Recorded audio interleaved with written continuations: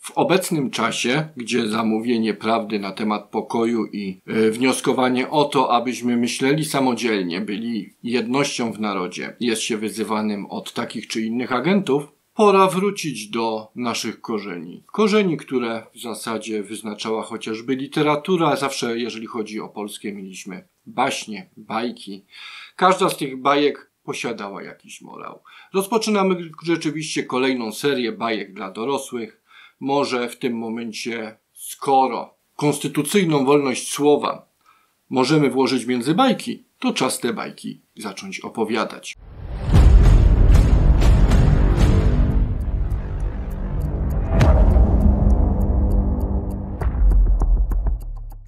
Witam serdecznie. Bajka o dzielnym Fafiku i jego głupim panie. Każda opowieść, alegoria niesie w sobie jakieś przesłanie, ale równocześnie jest oderwana od rzeczywistości. I może tak będzie zdecydowanie bezpieczniej, prościej, przynajmniej osoby, które e, mają na tyle inteligencji, że są w stanie w klawiaturę wstukać, że jestem agentem prezydenta Federacji Rosyjskiej, Y, będą na tyle rozgarnięte, że nie załapią tego, o czym mówimy. Skoro każda opowieść ma swój początek, należy umiejscowić ją w czasie, no to zaczniemy tradycyjnie. Dawno, dawno temu, w odległej galaktyce. Co ty pieprzysz, Jaskier? To może inaczej. Był górnik, co czesał się na jeża. Był też elektryk wąsaty. Pierwszy nie umiał pacierza, a drugi miał kaplicę z chaty. Obojgu Japonia się śniła. Japonia jest tam, gdzie była, a my jesteśmy w czarnej dupie. Stąd opowieść o piesku Fafiku. Fafik na przestrzeni dziejów walczył bardzo zawsze walecznie, dzielnie, jakbyśmy to szumnie powiedzieli, za naszą i waszą wolność. E, generalnie nie przeszkadzało mu to, że nawet jeżeli był w stanie kogoś rzeczywiście realnie wspomóc, to na sam koniec i tak był sprzedawany niczym tania prostytutka. Natomiast Fafik miał jedną bardzo niekorzystną przypadłość. W sytuacji, kiedy co jakiś czas zmieniał się jego pan, to Fafik mamiony tym, że ma prawo jakiegoś wyboru, może sobie tego pana wybrać, no to generalnie sobie wybierał. I wybierał sobie tego pana na zasadzie w demokratycznym państwie byśmy powiedzieli wolnych wyborów, które z wolnością mają tyle wspólnego, ile poprawność polityczna w dzisiejszych czasach, byśmy powiedzieli z elegancją języka.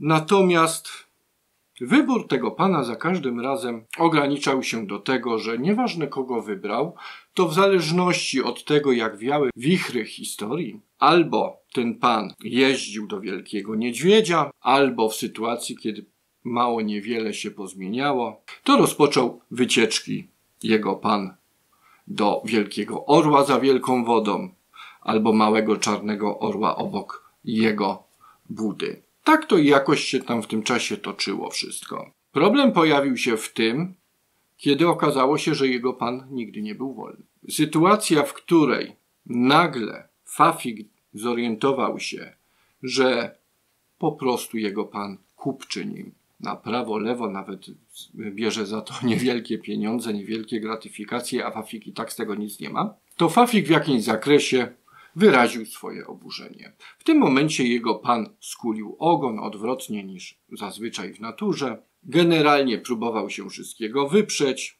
i nagle okazało się, że jego pan się odezwał. I w tym momencie Fafikowi otworzyły się oczy. Okazało się, że nieważne, którego z panów sobie wybierze, to i tak, i tak oboje służą wielkiemu orłowi. I w sytuacji, kiedy pan Fafika postanowił, że jednak nie zgodzi się na coś, co Fafikowi się może nie spodobać, no to nagle się okazało, że Wielki Orzeł wezwał go do siebie. Taka wizyta zapewne będzie i państwa udziałem w sytuacji, kiedy za kilka dni tam, gdzie wydawało się, że e, pan Fafika ma różne zdania, e, czy wręcz występują e, wewnątrz niego, byśmy powiedzieli, choroba dwubiegunowa, czyli generalnie Y, cierpi na takie schorzenie, że jedna część y, pana Fafika nie lubi drugiej części pana Fafika, to nagle okazuje się, że jest to teatr. I w tym, w tym teatrze Gdyby nie to, że byśmy popatrzyli na te pieski, które e, sąsiadują z Fafikiem, to wtedy okazuje się, że ich panowie jednak mimo wszystko podchodzą do swoich zwierzaków w sposób bardziej humanitarny, czy wręcz interes i to, aby takiemu pieskowi żyło się dobrze, leży im wybitnie na sercu. I nieważne, czy będziemy to w tym momencie kraina na południe, czy też będzie to kraj góry bogów starożytnych, to ci ludzie mieli mimo wszystko odwagę, aby swoim pieskom powiedzieć to, na co zasłużyli. Czyli powiedzieć prawdę. Prawdę, w której okazuje się, że jak nie pan Fafika, to ludzie, przed którymi klękał pan Fafika i starał się za wszelką cenę wykonywać ich polecenia, nagle kurtyna opadła. Nagle Fafik zorientował się, że był szczuty takich, nie innych sytuacjach. A sytuacja generalnie wyglądała w ten sposób, że duży niedźwiedź pogryzł się z niedźwiadkiem, czy bez, byśmy powiedzieli napadł na tego niedźwiadka. Niedźwiadek oczywiście ma prawo się bronić, e, Natomiast cały dowcip polega na tym, że Fafik to tak naprawdę zwykły kundelek, który potrafi szczekać. Jeżeli chodzi o kwestię ugryzienia, to już tak nie do końca. Liczy na to, że w tym momencie jego pan wszystko ogarnął w taki sposób, że jeżeli Fafik kogoś ugryzie, to pan za niego rozwiąże problemy, a przynajmniej byśmy powiedzieli pan jego pana. Zapominając o tym, że mocodawcy pana Fafika zdradę mają wpisaną we krwi.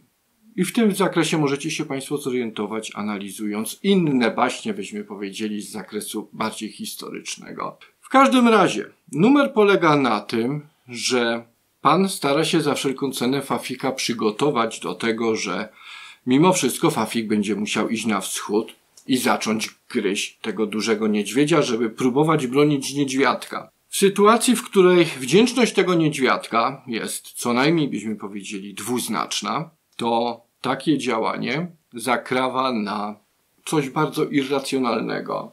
I dodatkowo w tej opowieści chodzi jeszcze o jeden element. Numer polega na tym, że wysyłając Fafika do gryzienia niedźwiedzia, jego pan doprowadził do tego, że buda Fafika jest tak naprawdę bezbronna.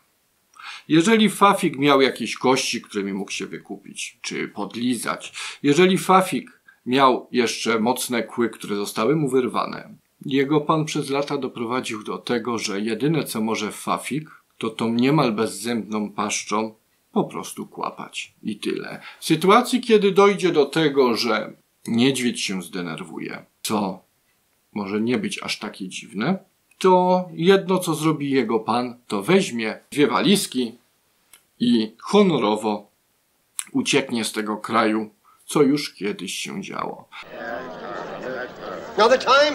Nadeszła pora czynu. Działajcie szybko. Ja wyjeżdżam. Czyli Buda Fafika zostanie znowu pusta. Za każdym razem w tej opowieści, kiedy patrzymy na losy tego biednego Fafika, zauważyć możemy jedno.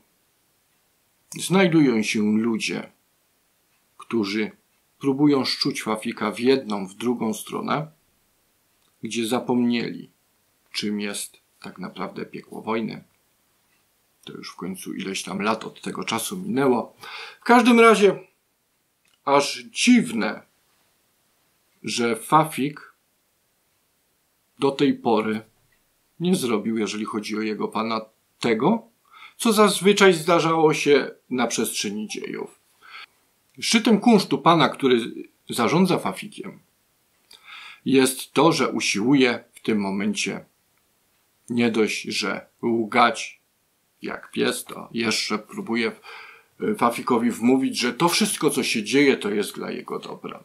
Zapominając o tym, że Fafik tak naprawdę potrzebuje odrobiny spokoju, możliwości tego, aby móc spokojnie w swojej budzie się wyspać i po prostu zadbać o siebie i nie być bez przerwy przez niego okradany i napuszczany w jedną lub drugą stronę. Można myśleć, co się chce, ale warto w tym momencie na kanwie tej historii zapamiętać jedno. Każda informacja, która dociera, którą powinniśmy przefiltrować, powinniśmy się dwa razy zastanowić, kto chce nas zrobić w balona. Bo myślę, że 60-70 lat zrobienia fafika w balona to już jest wystarczający okres. I w tym momencie pozostaje jedno. Nie dać się zmanipulować. Ta bajka nie kończy się w, i nie zakończy się w sposób, który dla Fafika byłby lekki, łatwy i przyjemny. Niestety Buda od Fafika leży w takim, nie innym miejscu, byśmy powiedzieli, jest podatny na wiatry ze wschodu i z zachodu i Fafik jakoś z tym musi żyć. Ale to nie znaczy, że Fafik powinien realizować czyjeś interesy, jak chce jego pan, ale Fafik powinien przede wszystkim realizować swój własny interes. Patrząc na poczynania Fafika w tej opowieści, nie będzie wesołego, szczęśliwego zakończenia, bo zakończenie może być tylko i wyłącznie jedno. Działania tego pana Fafika doprowadzą do tego, że Fafik znów za poetą powie do kraju tego, gdzie kruszynę chleba podnoszą z ziemi przez szacunek dla darów nieba tęskno mi, panie. Ale to już będzie za późno. Pozdrawiam Państwa serdecznie, trzymajcie się i do zobaczenia wkrótce.